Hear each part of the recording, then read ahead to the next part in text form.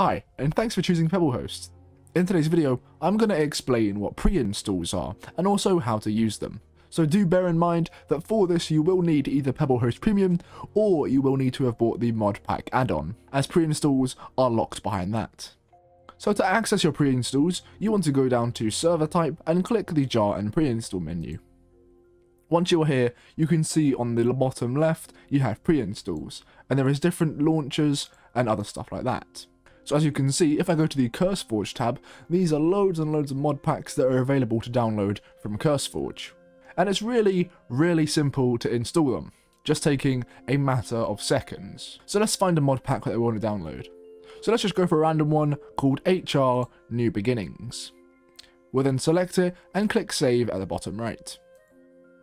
It will then ask us to run the pre-install, which will basically delete all files apart from this one so this will mean that your world and everything will be gone.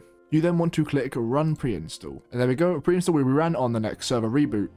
So now we can go ahead and restart our server. And while this is downloading, I'm going to go ahead and go onto CurseForge and download the mod pack for myself.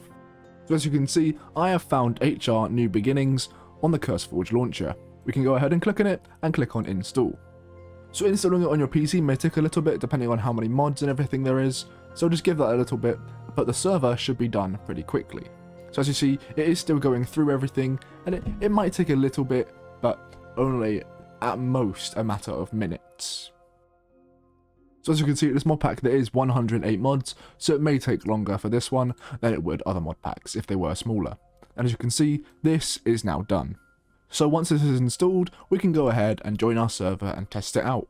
And as you can see, it has changed the jar file to Forge 1.15.2 as the mod pack is for 1.15.2 as you can see here. Okay, so as you can see, the mod pack has now installed. We'll go ahead and click play and then go ahead and join the server.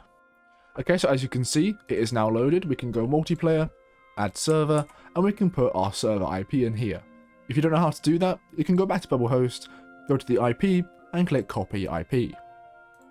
Then you want to go back to Minecraft, click OK, and there we go server has been created. We can go ahead and join. Okay, so as you can see, we are in the server.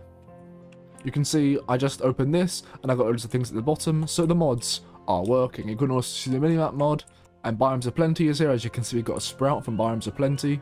And if we do go ahead and op myself, let's give myself op. There we go. I can then go into game mode creative and as you can see, we have all the mods fully installed correctly. So pre-installs are a really, really easy way to get into Minecraft mod packs. And they require just minutes of your time. And just like that, you can have a server set up with your friends to play a mod pack. Then, let's say you do get bored, you can just go back to Pebblehost, go to the jar and pre-install menu, click yes I'm sure, and find another mod pack, let's go for example all the mods 3, we'll click save and run pre-install. And now once we restart, it'll be installing all the mods 3. It's that simple to change it, and it is that simple to set up. Anyway, hopefully this did help you. If it did, definitely leave a like and also subscribe. And hopefully, I'll see you next time.